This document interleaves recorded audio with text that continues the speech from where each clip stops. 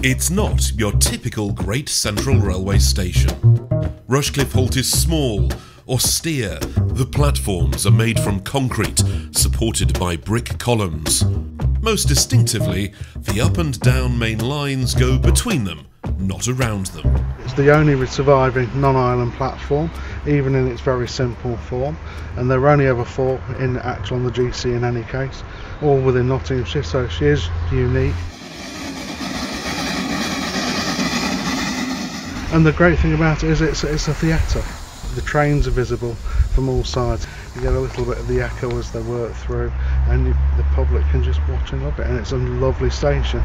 The fact that it's now regularly maintained means we've gone from a bramble and hawthorn scrub to wonderful wildflower displays come the, the spring because it's just left as basically a meadow. When the railway opened, there was no station here. The Great Central already served East Leake, just a mile to the south. But a few years later, the new line was beginning to have an impact. The halt was opened in 1911 to serve the newly formed Rushcliffe Golf Club on the west side of the line. A few years later, a gypsum mine opened on the east side. Both club and company survive today. Most pictures that you see of it, if you find them in the archives, it's all of trains actually shunting and propelling backwards into the gypsum works. Typically J39 seem to be the order of the day. Very much an industrial location. You can't possibly claim it's a pretty station, but it's a very nice uh, location to actually see and watch the trains go through now. North of the station, more sidings were added to serve the gypsum plant. These remained busy with freight traffic, even though the Great Central Route was being run down. Rushcliffe Halt itself closed in 1963. By the 1980s, the freight was gone too, and Rushcliffe Halt, shorn of its platform shelters and footbridge, was abandoned to nature. Among the buildings removed was the small ticket office. This is the only known close-up picture of it, taken two years after closure. The path leading up to it and the concrete base remain. This is the staff side of the station building, so you can see it's, it's basically split into two.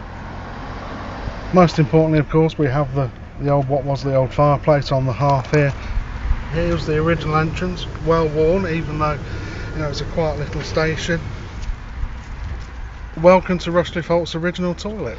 Brick base with a, a, corrugated iron top and as you can see from the location on the floor, location of said, uh, said facility and that was as exotic as it got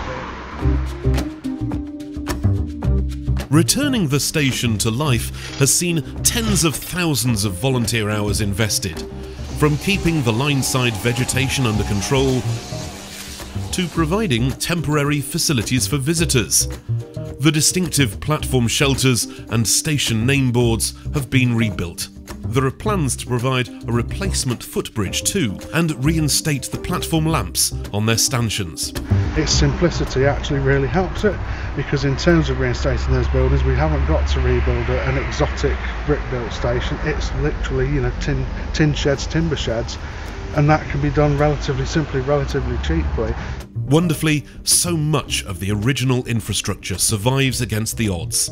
Signals and telegraph poles, and the London and North Eastern Railway designed signal box, named Hotchley Hill, which was provided to control trains into and out of the sidings.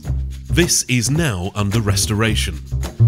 Not only has passenger traffic returned to the halt, but freight trains too though these days heavy machinery is used to load and unload containers from wagons. In terms of the future Great Central, as it stands, it's actually a key location here because it's currently the only passing point on the, the northern section of the line. It's also the only run round point. So any which way in terms of heritage services, it will be really busy because it will be that, that passing point.